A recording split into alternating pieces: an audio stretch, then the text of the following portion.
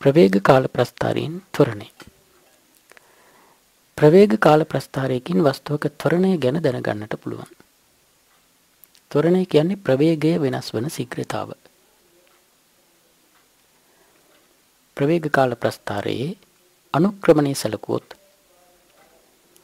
මේ දුරින් ප්‍රවේග වෙනසයි ප්‍රවේගයේ සිදුවන වෙනසයි මේ දුරෙන් ඊට අදාළ කාලයයි ලැබෙනවා. ඒ අනුව ප්‍රවේග කාල ප්‍රස්ථාරයක අනුක්‍රමණයෙන් වස්තුවේ ත්වරණය ලැබෙනවා. ප්‍රවේග කාල ප්‍රස්ථාරයක අනුක්‍රමණයෙන් වස්තුවේ ත්වරණය ලැබෙනවා.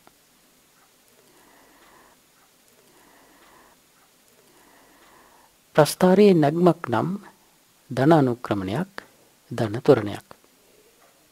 ප්‍රස්ථාරයේ බැස්මක් නම් රින අනුක්‍රමණයක් රින තොරණයක්. ප්‍රස්ථාරයේ මේ සම්පූර්ණ කොටසම සැලකුවොත් ප්‍රස්ථාරයේ බැස්මක් නිසා රින තොරණයක් නිරූපණය වෙනවා. ඒ අනුව ධන දිශාවට තිබෙන ප්‍රවේගයේ අඩුවීම රින තොරණයක් විදිහට දැක්වෙනවා.